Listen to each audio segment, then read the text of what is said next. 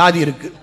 சாதி இல்லை சாதி இல்லை அப்படின்னு சொன்னால் படிக்க பிள்ளைகளை கொண்டு சேர்க்கறல ஸ்கூலில் பள்ளிக்கூடத்தில்.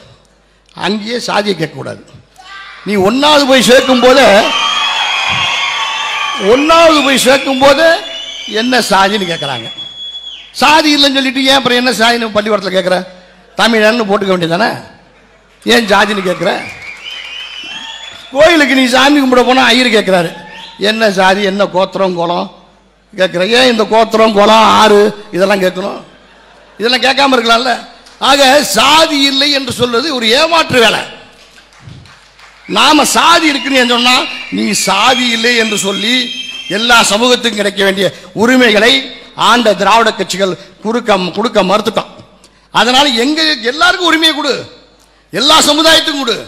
இடஒதுக்கீடோ வேலை வாய்ப்போ எதுவா இருந்தாலும் அரசு அதிகாரமோ எத்தனை பேர் நூறு பேர் இருக்குன்னா நூறு பேருக்கு உண்டானதை கொடு. பத்து பேருக்குன்னா பத்து பேருக்கு உண்டானதை கொடு. எல்லா சமுதாயத்தையும் கொடு. இதுதான் வன்னிய சங்க மேடையில் நாம எல்லாரையும் உட்கார வச்சு